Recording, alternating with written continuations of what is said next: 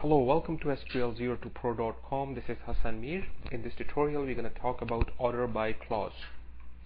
So order by clause is mainly used in SQL in order to sort the data by the columns of your choice. Okay, if we don't use an order by clause, then the data would be sorted in a default order that might not be uh, in sync with your requirement. Okay, so order by clause is an optional clause in in a select statement just like where clause is, an optional clause. So the mandatory clause is uh, select column list from table name. So this syntax is a mandatory syntax. Additional clauses like where and order by are optional clauses. Okay.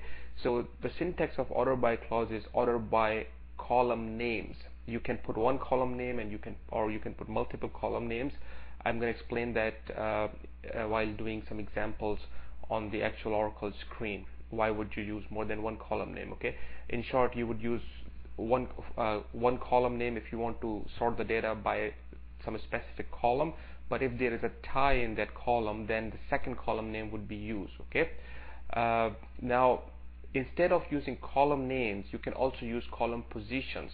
This column position uh, is uh, would be the column position in the in the select column list okay for example if you're selecting three columns in your select column list then instead of using the column names you can say order by two. That would mean the second column from the column list in your select statement.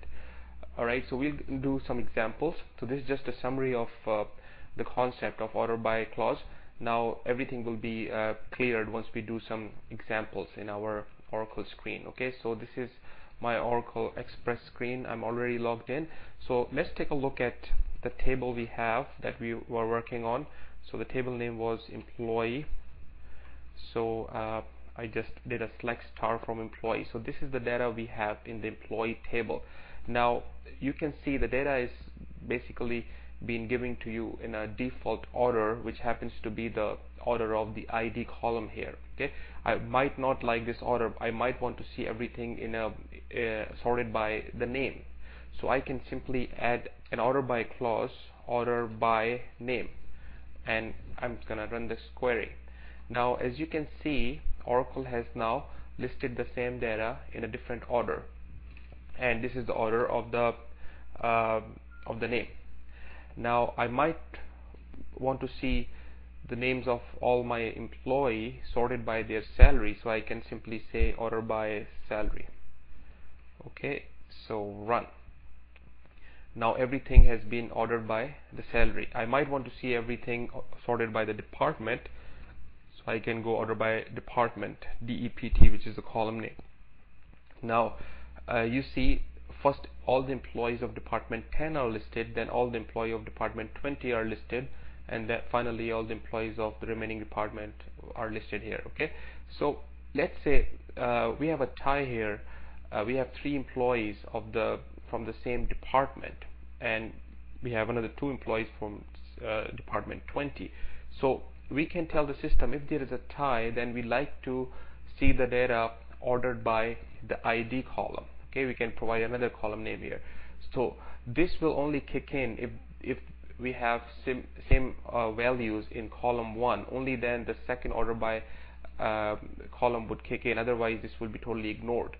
So in this case let me run this query so now you can see I haven't run the query yet. Just notice uh, the ID sequence here. Within department 10 the ID sequence is 621 now I'm gonna run this query now and notice the the ID sequence within department 10 has changed to 126 okay?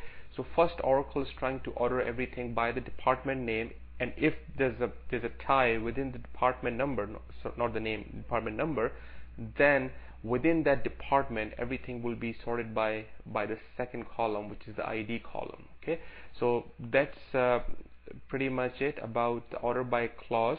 Now uh, just to let you know uh, let me let before I tell you that let me uh, give you another example. So let's say if there's a tie within the department we want to order the data by the name column okay? Let me run this query.